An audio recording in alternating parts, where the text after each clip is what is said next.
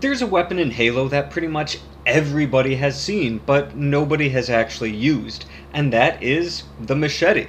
You know how since the beginning there's been pretty much a Covenant mirroring of UNSC weapons. You know, we've got the assault rifle, the plasma rifle, the plasma pistol, the magnum. Well, in early game designs, they had a human response to the energy sword, and that was the machete. We do see some later UNSC weapons with the combat knife, and if we take these same principles that that's based on, we can figure out what the machete would do. The Spartan combat knife has a blade that's 14 inches long and it weighs 4 pounds, which is ridiculously heavy for a knife because it's made of a super dense material.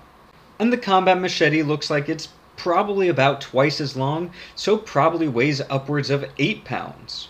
And that super dense material has been able to puncture through Spartan armor, so this would be a pretty formidable sword.